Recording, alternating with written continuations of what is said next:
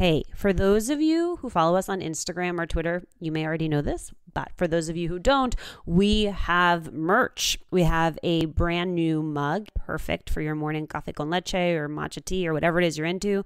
We've got these canvas pouches that you can use to organize your bag, put in your headphones, your lipstick, and then we have these sticker sets that you can put wherever you want. I have mine on my laptop. I love it. My laptop feels so much cooler. We'd be so grateful if you headed over to latinatolatina.com slash shop. Check it out. Buy one for yourself, for your friend, for your favorite listener. Again, we love you. We love being able to do this for you. And creating a product at this level requires things like studio time, sound engineer. And so a little bit of support will really go a long way. Thank you so much. And remember, check out latinatolatina.com slash shop.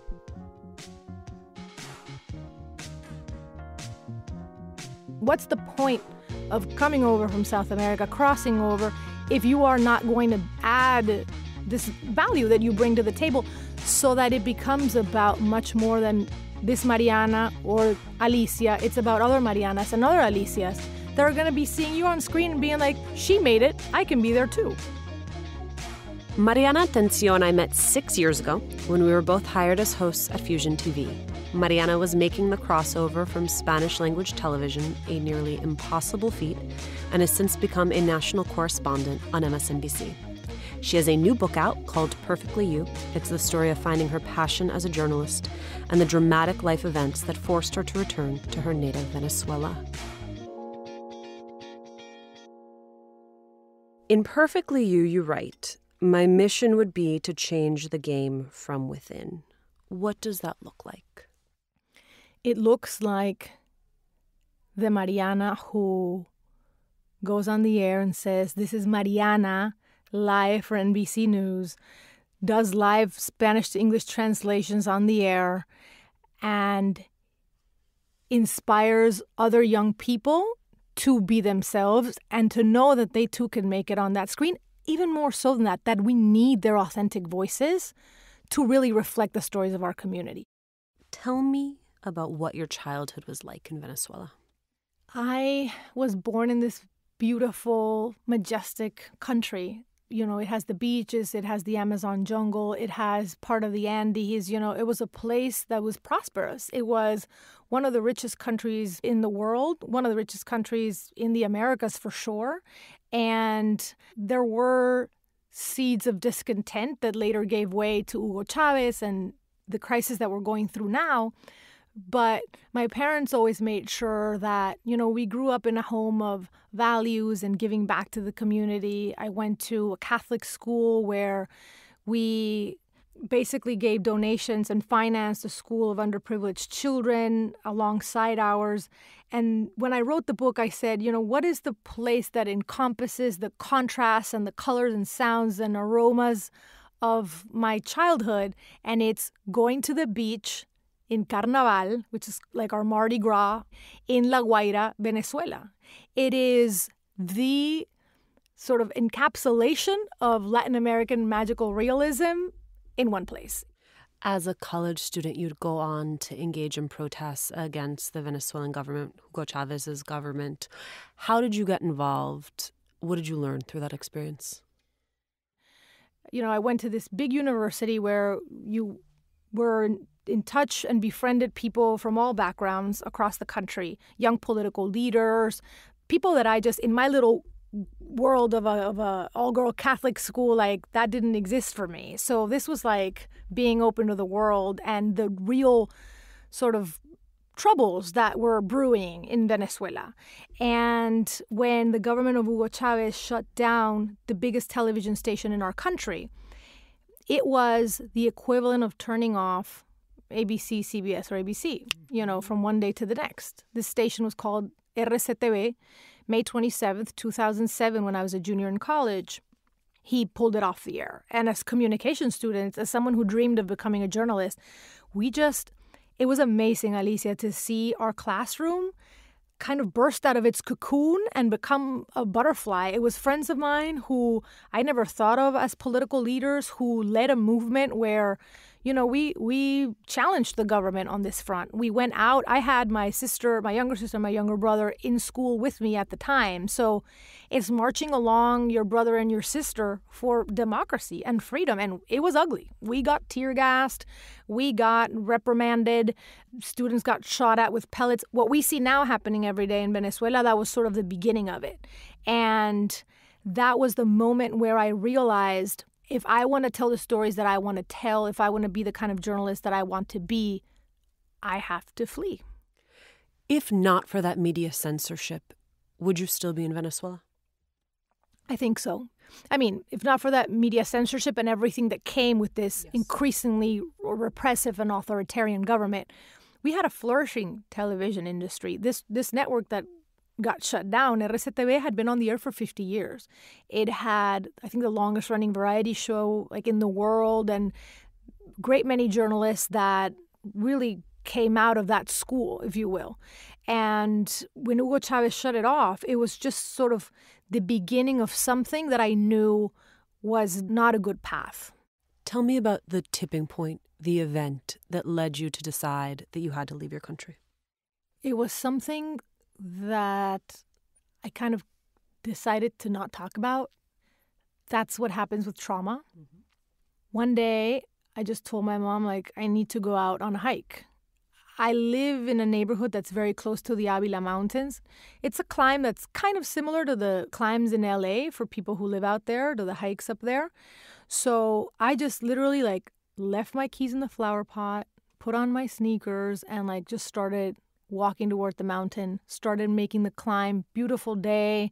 All of a sudden, I noticed that there was a man sort of looking like sizing me up and down and it kind of gave me the, the shivers to the point where i said to myself you know what i'm going to pretend tie my shoelaces so that he passes me and there were other people on the trail too this is a narrow trail going up the mountain so i bend down me amarro los zapatos and in my mind i'm like good thinking mariana you know he's past you like it's all good and then as i go up the mountain and as i'm coming down I don't know why there was a corner of the of the trail that had no one else on it and this man like literally came out of the woods, pounced on me and held me at gunpoint like nozzle pointed at my forehead and he said, "Cuenta hasta cien." Like kneel down, count to 100. And for me as a junior in college with everything that was happening in my country with sort of this these scenes of protests and being tear gassed with my brother and sister, I said to myself, what am I really meant to do with my life? If I survive this moment, what am I going to do with this chance?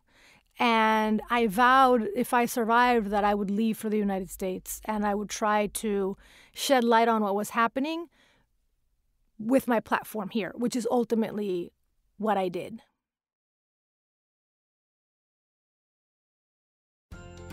We each have a family member who tells the best stories. My father in law is one of those people. So this Father's Day, I'm gifting him a subscription to Storyworth. Storyworth makes it easy and fun for your loved ones to share their stories.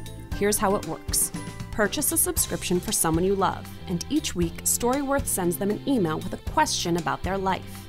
Then they reply to the email with their story.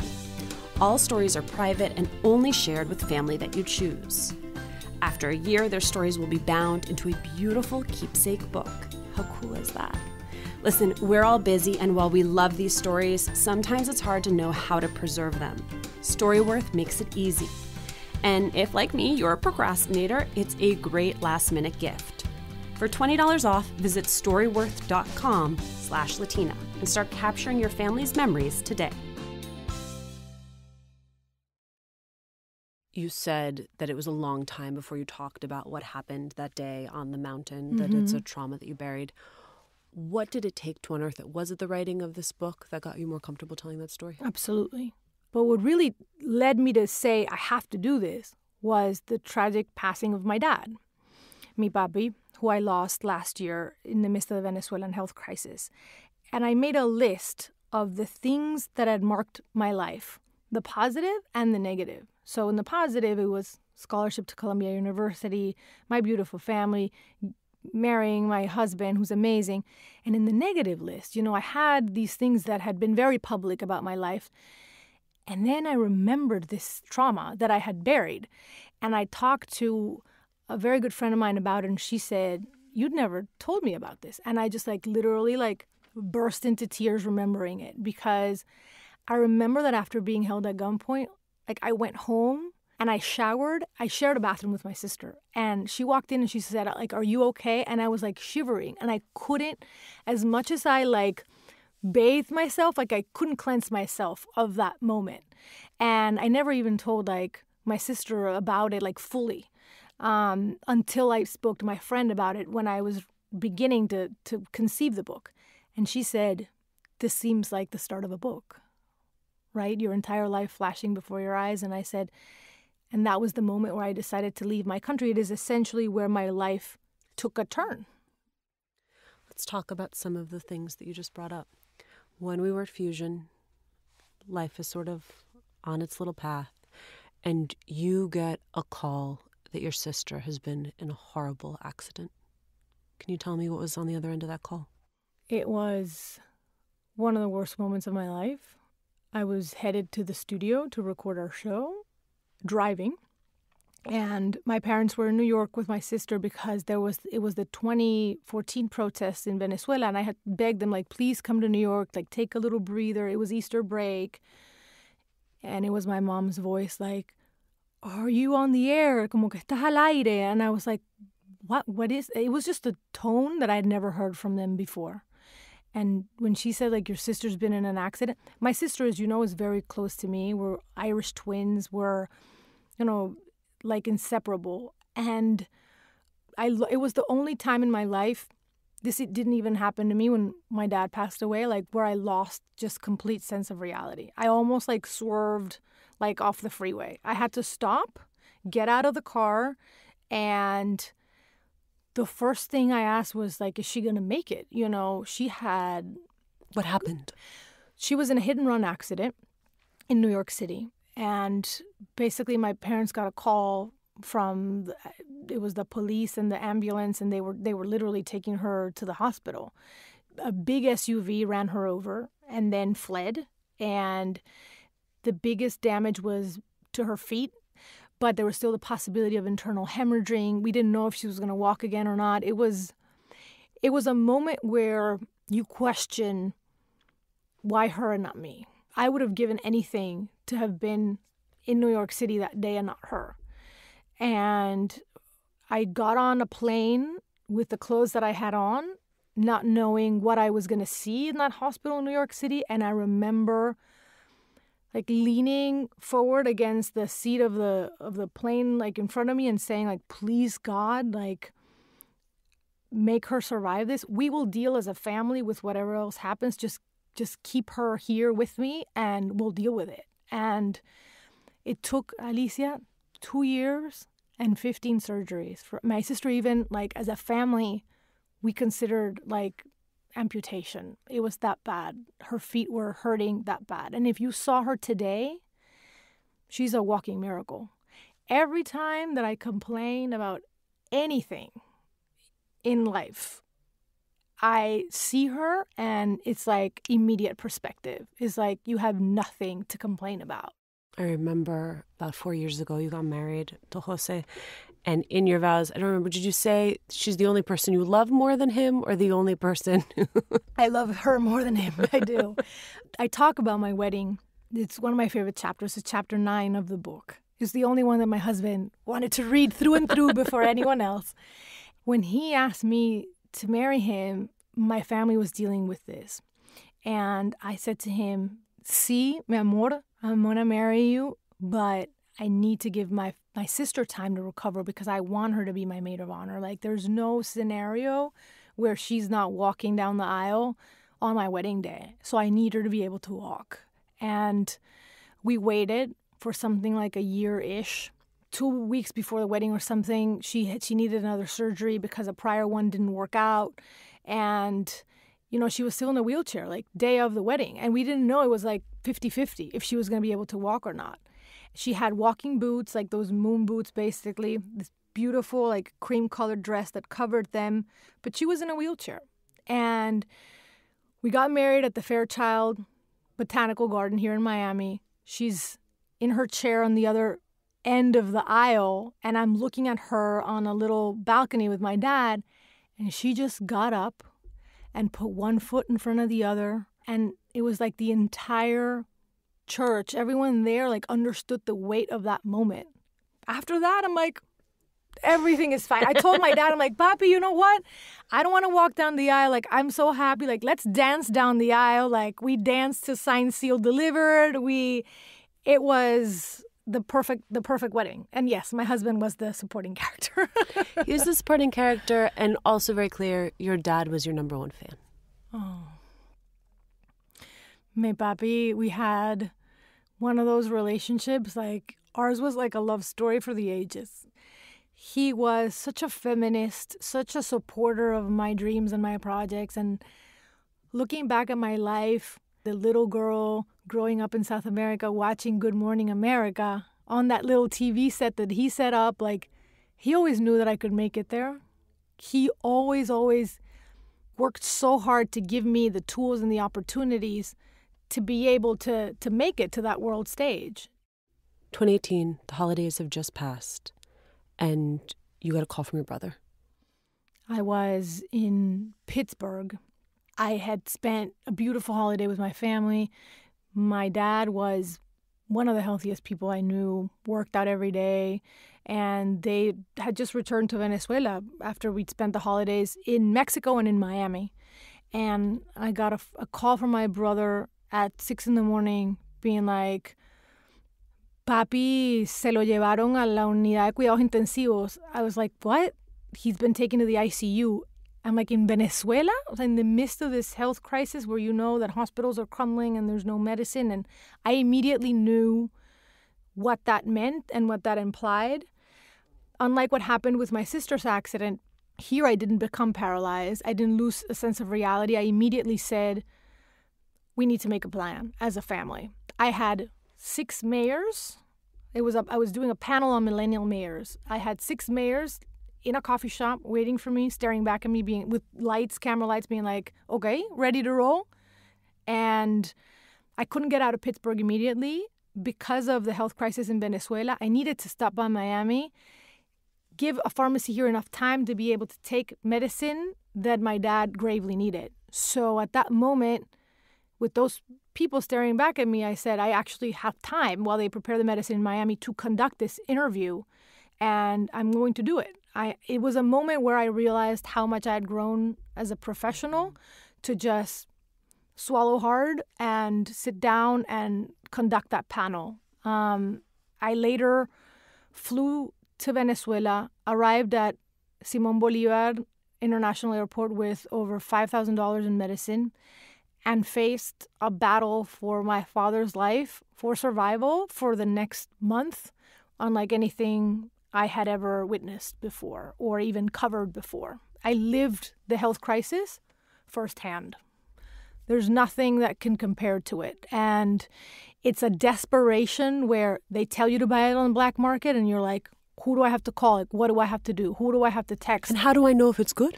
But you're so desperate. And it's realizing, you know, you're turning on the TV, there's people protesting for lack of medicine. You on your Twitter feed, it's people begging for like dialysis treatment.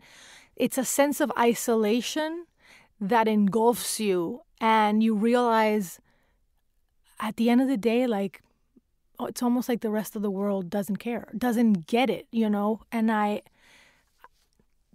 when I lost my dad, and that's why this that chapter is so so devastating because it's called losing my dad and my country I realized I lost Papi, but I'm leaving millions of people behind here who don't have medical care, who can't even afford buying anything on the black market like I did.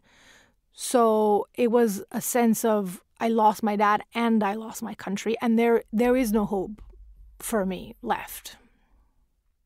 How did you find the strength to get back on that plane and come back to the US?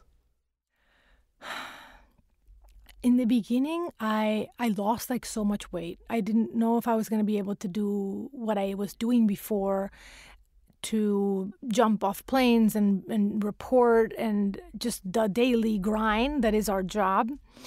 But i had forgotten that i had committed to hosting a gala for the bronx museum of the arts in new york city and the purpose of the gala was to give underprivileged children access to arts education my dad like opened my eyes to the world, to the English language, to jazz and museums and arts and this would be a chance to give kids that opportunity. So I said, I know you would want me to do this. So I got on a plane and bought myself a black and white dress and got on that stage and said, Papi, this is for you.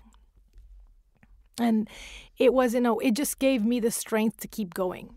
This book every single page that I sat down and wrote, it was thinking of him in the back of my mind and how this would enable young Latinas and young people like ourselves to have much needed conversations. And if I said to myself, if I can give one person the strength de seguir para adelante, you know, to, to find their purpose and get through whatever hurdle they're facing right now, I owe it to my dad to do that.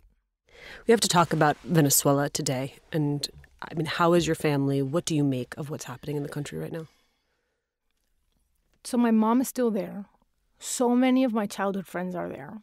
I go there all the time.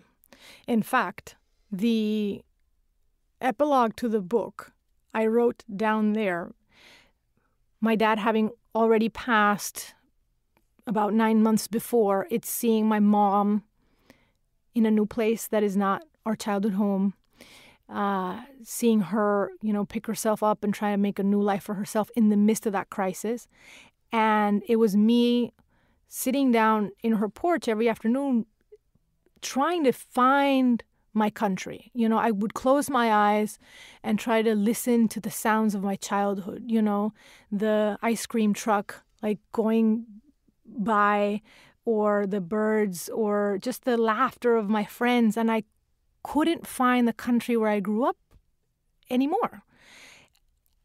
For me, it was the realization of I don't belong here anymore, and I'm trying to make a new home and a name for myself in the United States. So it's that realization of I will always be an immigrant and I will have to make a space for myself wherever I go which is the essence of this book also, right? We're creating spaces for ourselves as new immigrants or as Latinas in America without ever forgetting where we came from and without being apologetic about it. Let's talk about one of my favorite stories from the book, one of my favorite stories from your life. You get invited to the White House Correspondents' Dinner, which, for those who don't know, is a big um, event in Washington, D.C. Historically, the president has come, um, gives a sort of cheeky speech. Mm-hmm. There are journalists, largely D.C. based journalists. It's like who, the Academy Awards of journalism. Yes. Nerd prom is mm-hmm. what it is called in, in the industry. And you get invited, you're super excited, you're going to wear wear a dress that has the colors of your national flag, and you get a call saying, Mariana, don't look too Latina. Can you believe that? Can you? I still have a tough time going through what happened. I wanted to include it in the book because I could not believe that it happened to me. And I want us to realize that these are things that still happen in the workplace with minorities. And I want us to have these conversations. That's why I included the anecdote in the book. It was a moment in my life where I had already attended the White House Correspondents' Dinner. I was so excited to sort of showcase my culture and where I came from. And I had, as you mentioned, this dress that was gold with like blue earrings, and I was like this little red clutch is the the yellow, blue, and red of the Venezuelan flag covers colors, and so many other Latin American nations that I'm like, this is gonna be perfect. And I you I never thought a higher up would call me about something like, what are you gonna wear? As a woman, I think it's realizing that that would never happen to a man. As a minority, it's realizing that we still have these things to deal with and we have to we have to face them head on and talk about them. The call came and I was in the kitchen with my husband and when that person said that to me within their mind the very best intention of having me be presentable and amenable to everyone there, I didn't know what to say. Shh. This person literally said, please don't look too Latina. Wear something that's a little more Ivanka Trump, maybe? In my mind, I was like, is this really happening? Like, how it takes a moment to sort of process the information. I wish I could tell the reader and your listeners that I had a really witty, like amazing response, but I stayed silent and I hung up the phone. I cried for a little bit. I like shed three tears and then I went to Saks Fifth Avenue and picked out this please don't look too Latina Ivanka type gown that had been suggested. And throughout the whole of that White House Correspondents' Dinner, I was smiling for the cameras, but I felt miserable. And I look back at those photos and you can totally see that in the photos.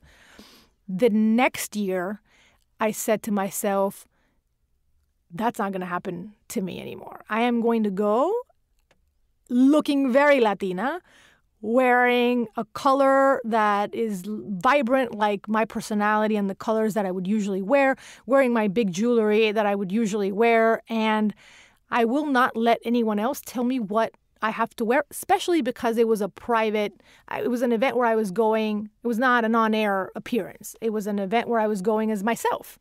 And I felt like in a book where I'm talking about the importance of being your authentic self, that anecdote needed to be included in there because I think again it's it's conversations that we need to have as Latinas and as women in the workplace. It doesn't end there though, because the dress was one thing. Then you get the same person starts talking to you about your red lipstick on air. But when it happened a second time, I was ready to answer for myself. And what did you say? I said to this person in front of other people in the newsroom, if you have nothing to say about my editorial, I would appreciate it if you would refrain from making those comments about my appearance in the future. It was a very respectful conversation. That person nodded, and it never happened again. And I said to myself, and, and this is my advice to Latinas listening and to other women listening have that answer ready. Realize that it can happen to you and be prepared with what you're going to say when those things happen. With men, with women, with higher ups, it can happen to you. So the the moment that I was prepared to to quote unquote defend myself, like it never happened again. You and I are also two opposite sides of the same coin where everyone's trying to dial you down and trying to dial me up because they have an idea of what it's supposed to be right so it's like we need you a little less and we need you a little more and it you know it's I think sometimes when we don't know how to help women be better at the job we do, we tinker a lot on the margins, on the aesthetics. Especially on TV, yeah. especially on social media, in media in general. And that's one of the core messages of the book is ultimately your true power lies in being perfectly you. What's the point of this whole journey that we just talked about? What's the point of coming over from South America, crossing over, if you are not going to add this value that you bring to the table so that it becomes about much more than this Mariana or Alicia. It's about other Marianas and other Alicias that are going to be seeing you on screen and being like, she made it. I can be there too. It's taken me 10 years of this career migrating to the United States, going through all the personal tragedies that we talked about to realize that these quirks or these things that might not be what you see every day on TV, these things that make me quote unquote different or special are what are going to make me stand out and be successful and lead a more purposeful life. So, whether you want to make it in TV or want to create a social media account that is of value and resonates, or whether you're creative looking to expand your business, a new mom, like it's finding those things that make you unique, not perfect, but perfectly you. Mariana, thank you so much. Gracias a todas. Thank you so much for this space.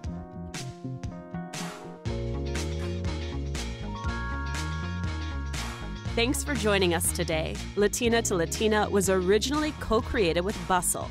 Now the podcast is owned and executive produced by Juleyka Lantigua Williams and me.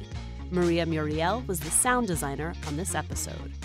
We want to hear from you. Tell us who you want to hear from and how you're making the show a part of your life.